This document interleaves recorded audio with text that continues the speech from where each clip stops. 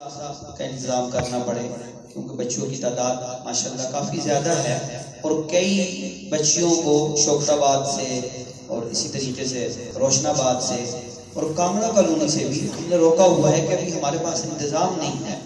कई बच्चे आते हैं कामरा कॉलोनी से भी हमारे पास रजिस्टर्ड होने के लिए तो हमने उनको रोका हुआ है। इस वक्त हमारे पास तकरीबन एक सौ के करीब तादाद हो चुकी है, जगह कम है। लेकिन इन अल्लाह तबारक ताली से आप भी मांगे, हम भी मांगते हैं कि अल्लाह ताला मजीद जगह दे, ये साथ वाली जगह का भी जहन बन रहा है कि इसको खरीद लिया जाए। जो नहीं वक्त आ रहा है, चीज़ें महँगी हो रही हैं।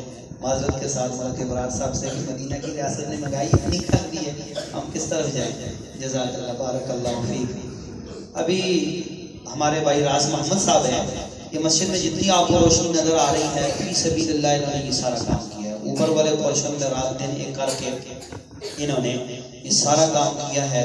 माशाल्लाह, बड़ी टेक्निकल तरीके से हर चीज़ इन्होंने अपनी अपनी जगह रखी है, जदीद अंदाज से कि अगर हमें कल और मज़ीद इसको वसी करना पड़े तो यहीं से काम आगे चला जाए तो तोड़ फोड़ ना करनी पड़े। अल्लाह इनको जदाय खैर दे।